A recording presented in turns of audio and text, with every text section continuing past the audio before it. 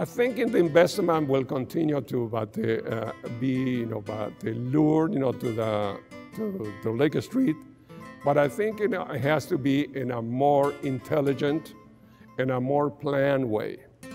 I don't think you know but uh, we could think in another boom like in the 70s, 80s. I think we have to sustain the growth, and also but the economy as a whole has to improve.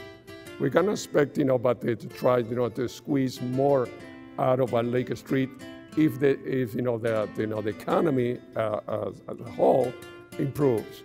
The opportunity is still there, but the, those that they are, are, you know, but the uh, visionaries, those that they have the right advice, those that they have, you know, that the business acumen, and they know uh, to be able to read between the lines, to read the trends, are the ones that are going to survive.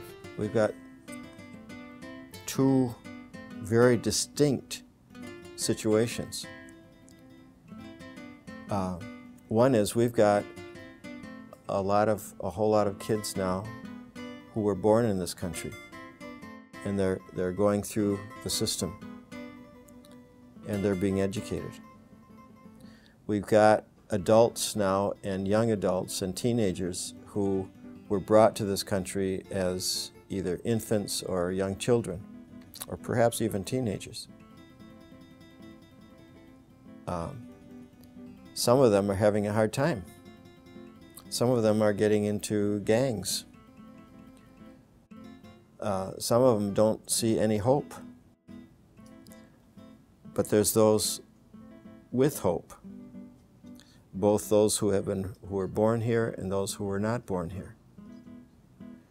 And so a lot of it also is going to depend on what what our country is going to do politically. Are we going to say, yes, we're going to we're going to provide a way for you to be a citizen, to work toward that? Uh, but let's say that doesn't happen. That spirit is going to continue. Now, the entrepreneurial spirit, a lot of people like to go into that area of business, of, of making something or serving something. But, but hopefully, our children are going to have even a wider area options of education. So they'll go into other areas. Hopefully, they'll be teachers. Hopefully they'll be, uh, they'll, they'll choose uh, other professions as well to round out the whole community. They don't have to only depend on an entrepreneurial spirit. You know, it's a work in progress. I'm not going to tell you that we're done because by no means we're not done. Um, we still have to write the final chapter of um, you know, like the ancient proverb says that teach him how to fish. And now that uh, folks know how to fish, now they want to know how to, how can they buy the pond. So in a way, um, that will be the final chapter of this project of the Mercado Central, who has been catalyst to the corridor, and uh, we're still yet to see the rewards and, and the transformation and changes that are happening in front of our eyes, particularly in the Chicago Lake area, which uh, the Midtown Global Market is becoming also another important uh, jewel of, um, of the corridor and also another, um, another benchmark for the Lake Street, which Lake Street like in the 30s, the 40s, the 50s. Now we're in the 21st century. We're still writing the uh, next chapters of the Lake Street yet to come.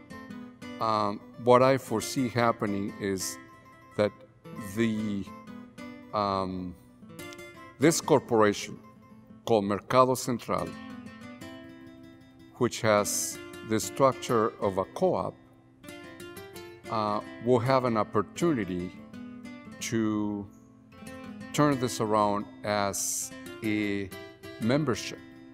And then they, cre- they can create a membership um, business development, if you wish, to continue having members like co ops do.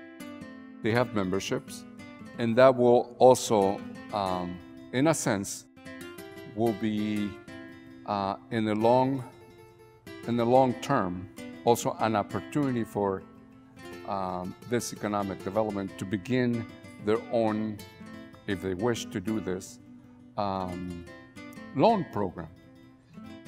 So everywhere I go, there's, there are people that, you know, point to the Mercado Central and the economic changes on Lake Street as something that has, is going to have a lasting, sustained impact on our, on our culture. Um, and then I think, you know, knowing that we did this in Minneapolis is, is a model for other communities.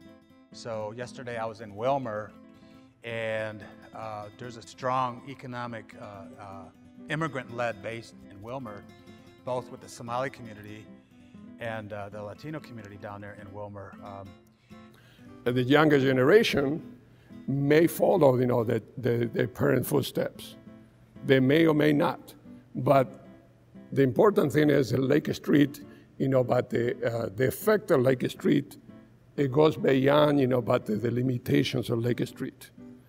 And that, to me, will be a way to continue sustaining this project as a model, as a model that could be also shared with other communities, not just Latino communities, but communities in general.